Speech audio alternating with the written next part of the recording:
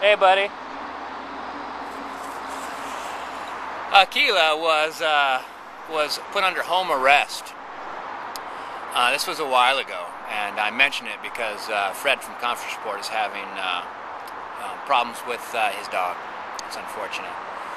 Um, I, I, got involved with a uh, a person that claimed that Aquila attacked him, and it was only through really kind of kind of working with the system and not cooperating as fully as I could have with the system, um, that they allowed me, uh, eventually after discussion, to take uh, Aquila home and put him under home arrest and not let him, uh, you know, interact with the public under any circumstances until the investigation was done.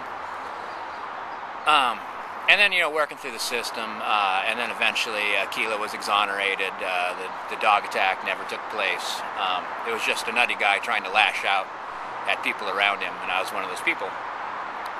But um, it was incredibly disturbing to have to go through that.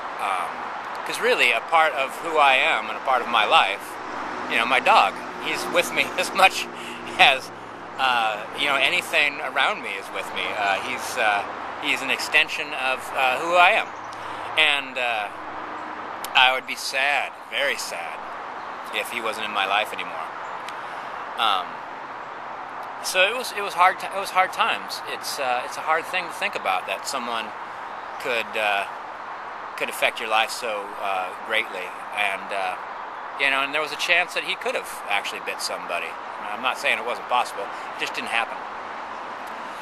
Um, yeah, it's uh, it's something that actually kind of exposed me to a lot of kindness. It's not not only like you know meanness, but kindness as well. Um, one person who I had never talked to before, actually two people, um, came to me and said, uh, you know, when they found out I was having troubles, they said, I see you and your dog all the time sitting on that rock in the sunshine, and every time I see you guys sitting together, it warms my heart. Man, I was moved by that. And then when the animal control people came to make sure that I was keeping Aquila locked up on my property, I was talking to them on uh, my front yard. And uh, one of my neighbor uh, kids walked by, a young lady, and she says, I just want you to know that that dog is a really, really good dog. And she didn't, she was talking to the animal control person. And uh, the animal control person says, yeah, I'm starting to get that feeling. so, uh, I just wanted to let uh, you know, Fred, that uh, that my heart uh, goes out to you. Seeing you with your dog, uh, walking around and enjoying yourselves and talking what's on your mind, it warms my heart. And my thoughts and Aquila's thoughts are with you. And good luck.